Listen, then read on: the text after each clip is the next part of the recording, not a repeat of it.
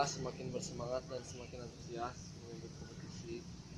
Lagi sekarang kan Ajis main di tim kebanggaan sendiri di Persib sebuah kebanggaan mudah-mudahan ya bisa terwujud gitu ya bisa ngasih orang Bandung juara sama Persib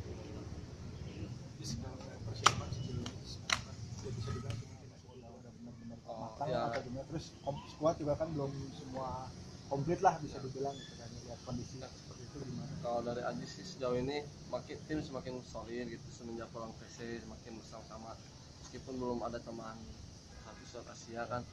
Ya mudah-mudahan bisa menambah eh, kekuatan lah pastinya itu sekarang udah kuat tambah lagi satu slot Asia asing. Mudah-mudahan makin bisa makin solid Yes, musim perdana nih bersama Persib di kompetisi punya target pribadi nggak? Misalkan jadi top asis atau selain juara lah. Ah, selain juara gitu. ya pasti yang jelas buat eh, dalam waktu dekat sih buat Ajis eh, yang penting dikasih kesempatan banyak bermain aja dulu. Untuk masalah asis nanti kan nuturin juga ikutin juga. Jadi sebenarnya di tengah ini bisa dibilang banyak nih pemainnya. Gitu gimana sih lihat persaingan gitu ARW juga kan sekarang main di tengah ini sayang Banyak sayang ya buat Ajis nggak ada persaingan sih yang ada eh, semua saling saling menguatkan gitu saling membahu eh, bahu membahu buat Ajis nggak ada persaingan kalau senior senior ya buat jadi pasukan. Kalau bersaing ya bersaing eh, secara sehat di latihan aja maksimal di latihan pelatih yang lebih tahu kan.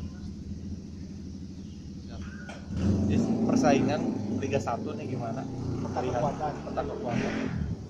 Kekuatan sih ya merata sih hampir merata semua tim Bisa diprediksi ya siapa tim kuat siapa tim lemah semua sama aja sih kalau yang paling berat siapa? Kira-kira Najis Madura sih Madura sama ini Persebaya. Kenapa tuh?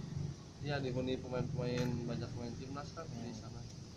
Ya dua itu mungkin kalau kata Ajis ya. Iya. Nggak presiden sih iya kan baru juara tuh. Nggak nggak sih. Persija kan banyak yang keluar juga. Iya. berarti lebih mewaspadai Madura Madura sama sama- Persebaya ya